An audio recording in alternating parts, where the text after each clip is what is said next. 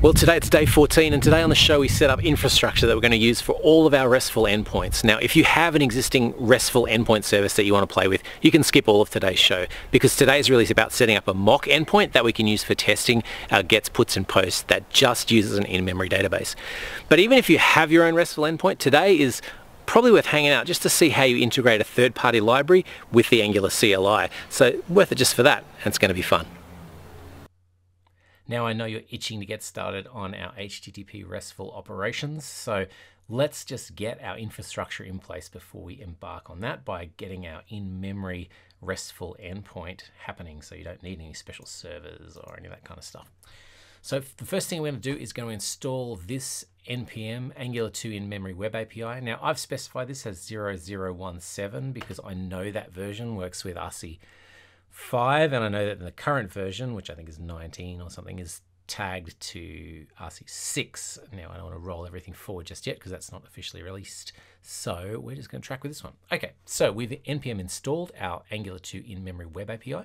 We should find now, if I open up my packages here, I've done a minus minus save. So here it is, it's in my package.json. And if I open my node modules, I'll see, oh, in fact, there it is there, the Angular 2 in-memory web API along with the JavaScript that we need and all that other good stuff.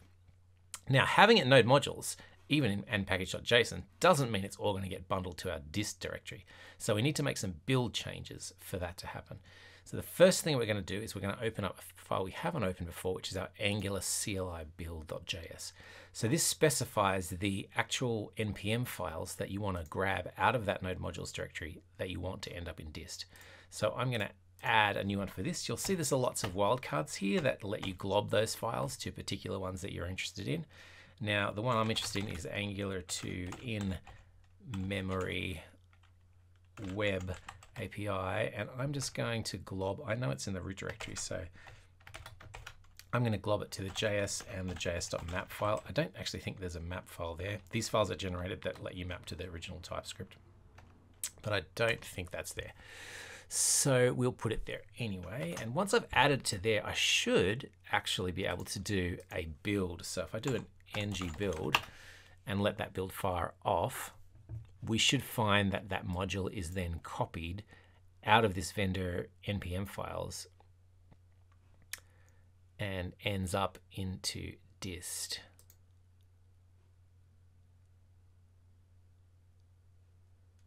In fact, that looks like it is there now. So that has been copied across and is living there. So we now have it in our dist directory. But having our dist directory is only kind of part of the problem. So the next part of the problem is we need a way to tell Angular how to find it in that dist directory and make sure our system.js loader knows how to load those JavaScript files when we reference them in backing components. So what we'll do next is we'll update our system config. In fact, actually that's the dist one, and I've made this problem before. I've edited in dist, and of course no changes go anywhere. So let's have a look at our system config TypeScript. Now down the bottom of your system config, this is the thing that's configuring all the module loading and whatnot. Now, all this stuff is really don't mess with it, part of the CLI. So when we actually create components, you'll see that the CLI has been editing these barrels to load the components that we've been creating. So all of our changes need to live in this top user configuration section. Now in this map, I'm going to add two entries. The first one is just going to map the imports that I'm going to type um, through to where they're going to actually end up for the JavaScript file. And then I need in this package to say, well, how, what file in that JavaScript file do I need to reference when I import this? Now we have a root level. You don't sort of know the details of this, but I've had a poke around this in-memory API and it has got an index.js, which is its entry point. So these two entries here allow us to now import this API in our actual um, component scripts. So let's do that now. Let's go to our app module. I'm going to save that save you, and then I'm going to go to our actual module. So in our app, our app module, I'm going to now start importing that database and start configuring it. So there's a few things that you'll need to do. First of all, we'll need to import it. So I'm going to import this in-memory web API module, is this guy here, which is our Bootstrap module for setting up this in-memory RESTful API. And then I'm going to need some kind of service of my own that bootstraps the reference data that we want to be plugged in to this service when it sparks. So if you like, this is like the canned reference tables that are going to be in this RESTful endpoint when it sparks up. And we'll create this mock database service in a sec. Um, in fact, why don't we just do that now? Let's create a new file and we're going to call this mock.database.service.ts. Now, the way that the mock database service works is it sets up a class that implements in-memory DB service. And in-memory DB service doesn't really do all that much. In fact, its interface only has one uh, method, which is this create DB, which is where you should spark up your actual uh, RESTful data that you want to expose over the API. So I'm going to do that now. I'm just going to set up a couple things. So we're going to need a friends endpoint where we can access our friends. So this is some endpoint like slash API slash friends, uh, and that's going to return our list of friends. And then we also want like a slash API slash tweets is going to return our list of tweets.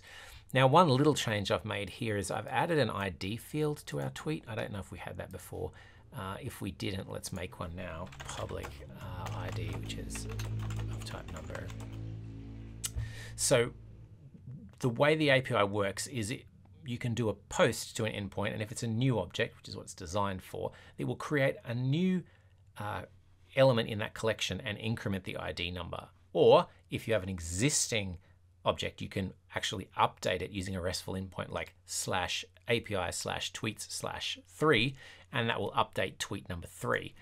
So I've enhanced the tweets collection, which used to just be uh, a bunch of tweet objects which didn't have any IDs, just to simply have this ID as well.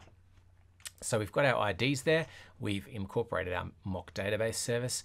Uh, in fact, we still need to do one more thing. So we've defined our two collections. What create CreateDB wants you to return is uh, actually a, a map where you have the key here to be the name of the endpoint. So for instance, slash API slash tweets. And then this to be a collection, an ID level collection if you want to do inserts or just a standard type of object if you don't care about that. That's going to be returned when the API is invoked from the client. So you hit slash API slash tweets, this is the collection you're going to get back. You hit slash API slash friends, this is the collection you're going to get back. And that's just the mechanism it uses to let you determine which collections you want to expose over the API and what mock values you want in them. Okay, so that's our mock database CreateDB. These are our two collections we're exposing.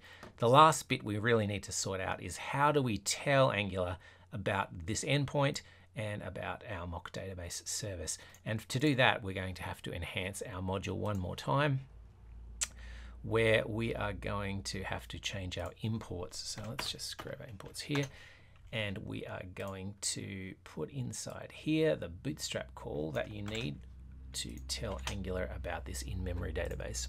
So there's a bunch of configuration data here. This is simply a pointer to our mock database service we we're just looking at, uh, which provides our create routine.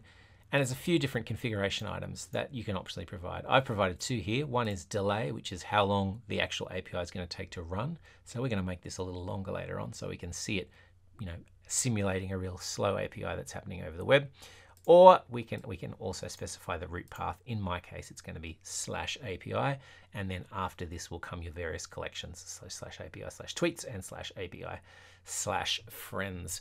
So with all of that in place, we are now in a position to spark up a serve, ng serve or ngs if you like. Uh, and now we should be able to compile our object here. So that's now compiling happily. Now we haven't actually implemented any of our fetches and whatnot yet. So you might be tempted to say, well, I would love now to just go into slash API slash API slash uh, tweets, for instance, and say, get me that list of tweets. And if you do that, you'll find that the return you get on your console is, is that it has failed to map uh, any of these routes. And that's because the way this in-memory mechanism works isn't based around creating routes and routing from the browser here. It's based by intercepting the actual HTTP call, so they never actually go on the wire. So if you did want to have a browser, how uh, to make sure this was actually loading properly, you can, as a minimum, check out your sources tab in your browser tools and you can see that the Angular 2 in-memory web API is here and running. And in fact, if you had a browse through there, you can see how it's bootstrapping. And in fact, in this one here, all the different methods like delete, create, put, post are all in here and you can breakpoint them if you need to debug it. But we're going to come back to that next episode when we actually start calling these APIs and then we're going to really have some fun. So join us then.